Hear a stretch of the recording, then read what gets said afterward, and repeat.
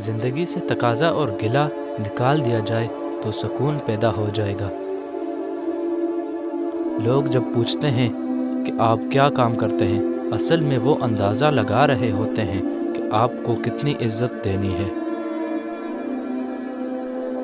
बुराई ढूँढने का शौक है तो आईने का इस्तेमाल कीजिए, दूरबीन नहीं। जो शख्स रूखी, सूखी खाकर भी मुतमिन रहता है, वो सबसे ज़्यादा दौलतमंद है, क्योंकि इतमान फितरत की सबसे बड़ी दौलत है।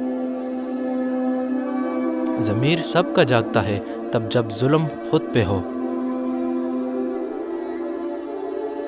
सियाने कहते हैं, अपनी ज़िंदगी की किताब सिर्फ़ मुखलिस लोगों को सामने खोलिए, बाकी सब तो बस जानने का तजस्स रखते हैं।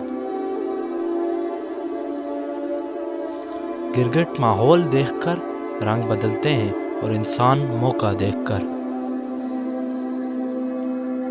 जिस लहजे में बात करो, उसी लहजे में सुनना भी सीखो।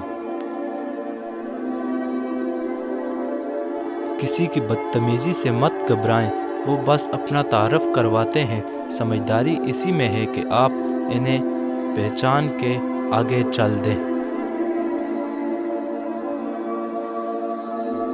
जिनका सीधे सीधे मुँह तोड़ देना चाहिए, उनसे भी तमीज़ से बात करना तरबियत खिलाती है।